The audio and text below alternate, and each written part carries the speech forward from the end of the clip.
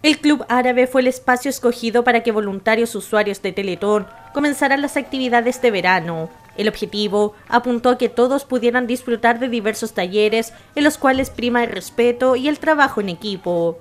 Así quedó claro con Jennifer y Pia, quienes son amigas Teletón, en una iniciativa en la cual ambas tuvieron que trabajar en equipo.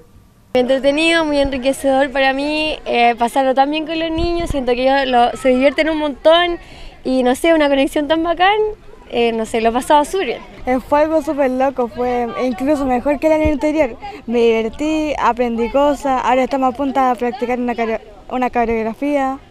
Otro punto que se destacó en esta actividad es la importancia de colaborar con todas estas personas que durante el año trabajan para que los usuarios estén felices y puedan realizar su terapia de mejor manera. La idea es masificar el mensaje, el mensaje de Teletón eh, la Teletón tiene que trascender a lo que es eh, estos sectores, lo que es nuestro instituto, tiene que llegar a toda la comunidad porque la Teletón es de todos, la Teletón es todos los días, es un ejemplo eh, donde hemos seguido, si bien nuestra campaña se pausó, nuestras actividades siguieron continuamente durante todo este periodo y continuarán durante el, durante el, mes de enero. La Teletón es una institución de vital importancia para estos usuarios quienes gracias a estos jóvenes pueden disfrutar de un verano entretenido con muchas actividades al aire libre.